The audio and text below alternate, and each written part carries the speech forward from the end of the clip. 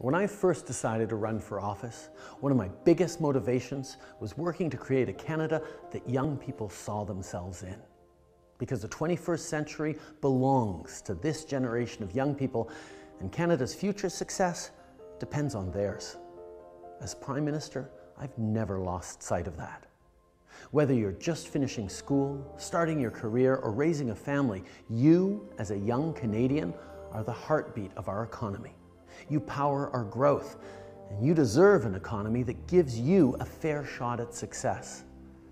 But this moment we're all living in is throwing big challenges your way.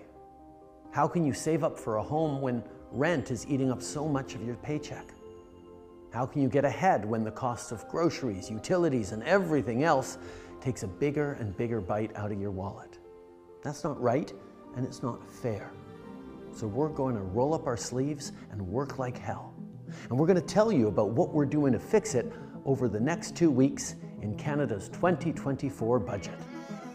Fighting for fairer prices, investing in the programs and services that help you get ahead, creating new opportunities, new jobs, new businesses. And most of all, we're going to build more homes and apartments in this country at a rate faster than we've seen in generations homes and apartments that you can afford in communities where you want to live and work.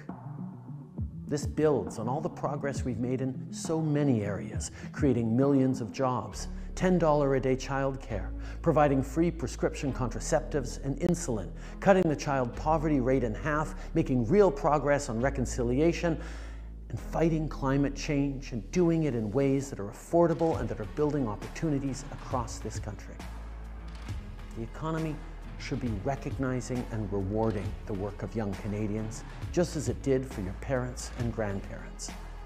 Speaking of which, for those of you who aren't Gen Z or millennials, Xers like me and the generations that came before, I know you feel this in your bones. You want your kids and your grandkids to have every opportunity you had and more. You get this, and I know it drives everything you do. I'm no different. We can't let them down.